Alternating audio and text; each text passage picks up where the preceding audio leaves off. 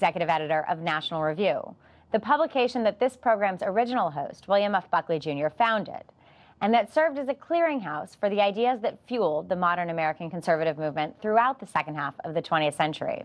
Indeed, Mr. Executive Editor of National Review, Mr. Salam, is keen to reflect on conservative populism, a party dominated by Donald Trump, and influenced by ideas diverging from the pedigree and intellectual tradition that Buckley bequeathed to his publication. Reihan, a delight to have you here, and I must start with the fact that you're a bit of a prophet. Because in 2008, you and, and the book was entitled Grand New Party How Republicans didn't really change with those changes in the base. Were you arguing, though, that the ideology of the party had changed or that the party was political? And those voters being white working class voters who you identified, that I think if I understood your argument, the conservative movement. To being a party that was much more unified around a certain version of conservatism, narrowly ideological understanding of conservatism, and one that is open to some of these populist currents. All right, so how does that resonate today in terms of the conservative coalition or the populist coalition. Administration was strikingly different from its predecessors among Republican moderate ideological currents in the party. If you look at curious about the George H.W. Bush presidency, they felt as though the party wasn't sufficiently unified, elite level, mm-hmm. and there was a very strong consensus of the Republican Party. If you think about 2004, thousand votes in three states. Yep, that's very Wisconsin, well said. Wisconsin, Pennsylvania, and Michigan. Class before we have a big problem. Um, Maybe you can outline, you know, some of those pocketbook issues, some of those policies that are the things we care most about in the poorest, most distressed regions. If you're looking at a policy like Medicaid, for example, something that conservatives always talk about federalism of conservatism and whether they actually fit the facts of the way the modern American economy so works. So what are the first principles of conservatism?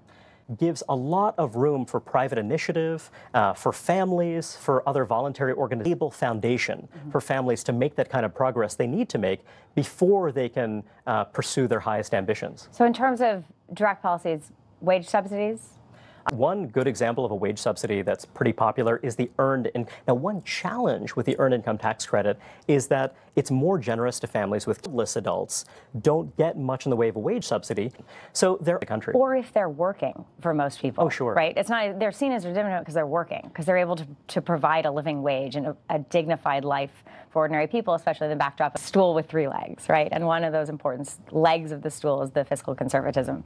And fiscal conservatives would ask, against the backdrop of some of the ideas you, you propose, how do you pay for it?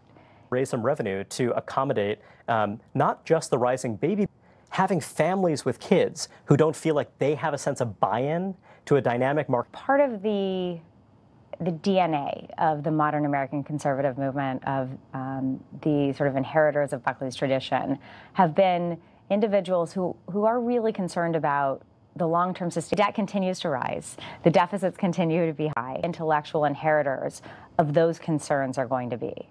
Well, Buckley Jr.'s career, it is striking to see how much his opinion changed on a variety generous to the most own savings and to find other ways in order to meet their needs. Now, is that they have not done that. Rather, what they've said is rather than saying, hey, if we were approaching this from the 2018 perspective, from a truly modern perspective, in five years or 10 years, I know this bill isn't going to pass. I just want to be able to. Uh, and then guess what happens? Those plans never are passed into law. They never. That you, you find where your political constituency is, and then you get to.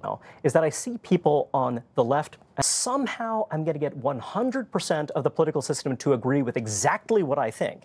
And it's, wait a second, the executive branch is not meant to be in.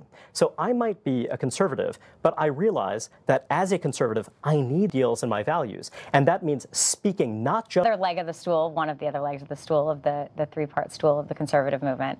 Um, this national security, national foreign policy goal that can unite all of the factions. Uh, we see an authoritarian China, we see an authoritarian Russia, but there's also this increased and really outsized focus on Islam amongst conservative populists.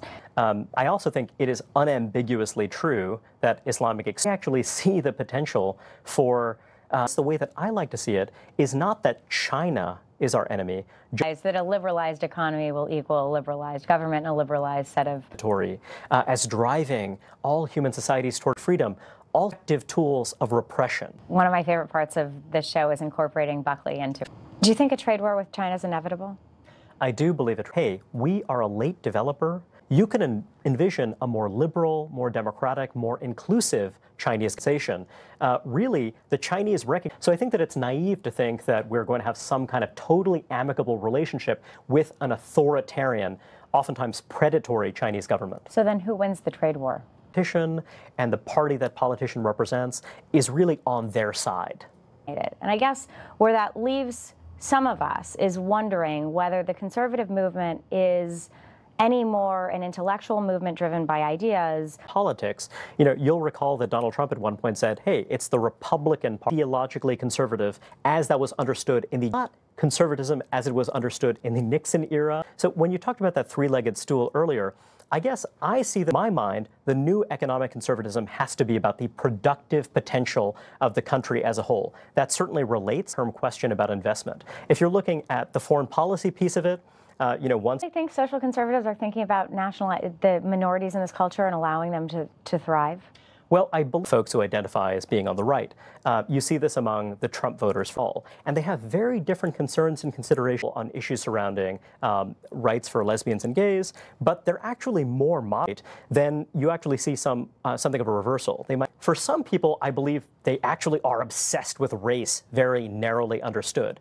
There are other people. Sort of following on that point, President Trump, as we know, uses culture against you rather than a minority against you, and there are so from his perspective as an individual, conservatives more broadly, this can be a perilous game to play. We're in this very uncomfortable with Donald Trump. They do not believe that he reflects their values what I find, if you had a George W. Bush administration, that if you had a Bush administration that when it was approaching the immigration issue didn't say, hey, the, if you had a George W. Bush administration from politics in the subsequent decade. So I've got to say, you know, I have a huge amount of criticism that contributed so much to the fact that, uh, you know, a lot of conservatives found themselves turfed.